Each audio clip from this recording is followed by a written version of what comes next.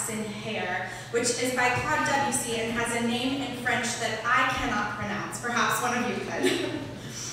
uh, we're deeply sad to be missing Paige today, but I know that you will enjoy this gorgeous piece of music instead. The founder of United Methodism, John Wesley, encouraged his followers to sing in time, to sing spiritually, and to sing lustily not to sing as if you were half dead or half asleep, so he said that if singing is a cross to you, take it up and you will find it a blessing. So this afternoon's program is not only a performance, but it is also a hymn sing. So whenever you see the words congregational song underneath the title of a piece, please find the hymn in the hymnal in front of you and sing along from your seat. You'll be invited to stand for the opening and closing hymns if you are able and willing, and you remain seated for the rest. Before we do that, please join me in a moment of prayer to invite God's presence into this very special time. Glorious God, melody maker and conductor of life, bless this music and those who make it here today. Let our songs glorify your creation. Let our harmonies sing your praise. Let our refrains echo the wonders that your mercy has given your people. May your presence be found in every note, and may your spirit guide us through every measure, that in playing and listening, we remember that we are yours, ever moved to become instruments of your peace, playing your songs with joy. In your many holy names we pray. Amen.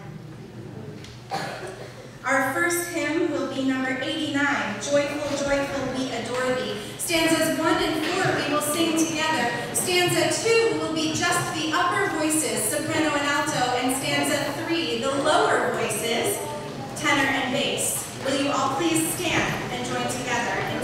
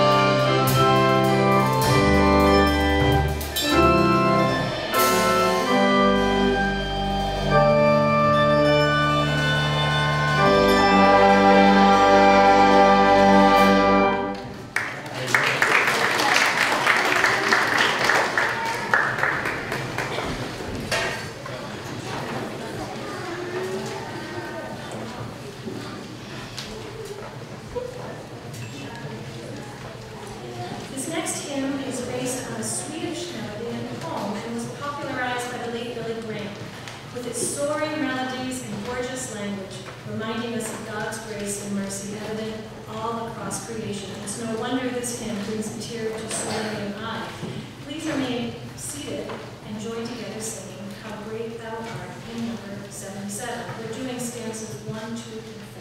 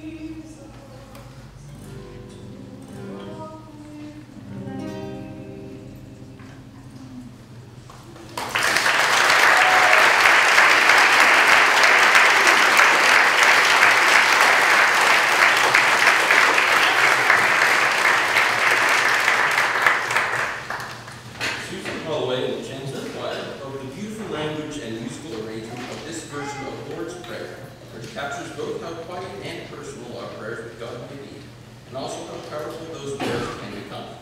Taken from the most recent hymnal supplement, be sure to become a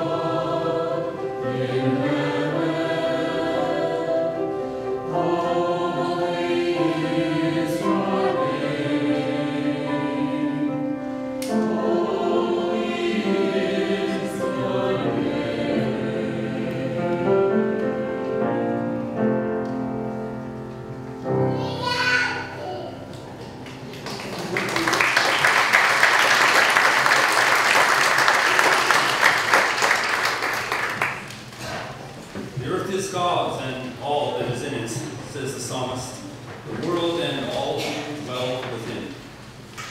In the spring of 1863, Folliott S. Pierpoint, poet and professor at Somersetshire College sat on a hilltop overlooking the Avon River and marveling at the wonder of God's creation.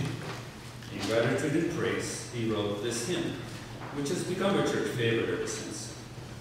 Beautiful harmonies in the tune we use today help us to thank God for the beauty of creation, for the love of family and friends, and for God's greatest gift, Jesus Christ, to whom we sing. Please remain seated for the singing of hymn number 92. Turn to that in your hymnals. For the beauty of the earth, we'll sing stanzas 1 through 5. Now, the upper voices, the ladies, only do stanza number 2. And lower voices, say the men, only do stanza number 4.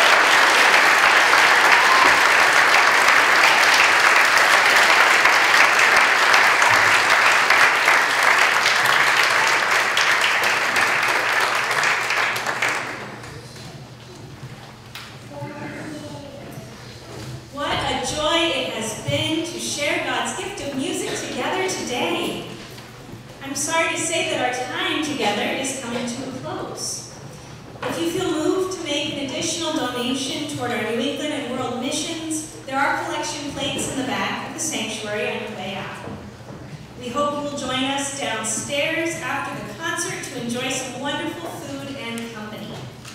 Our musicians and local celebrities will meet you down there soon, after they have a chance to pack up their instruments. Now for the third year in a row, let's stand and conclude our concert by singing Amazing Grace, which is number 378.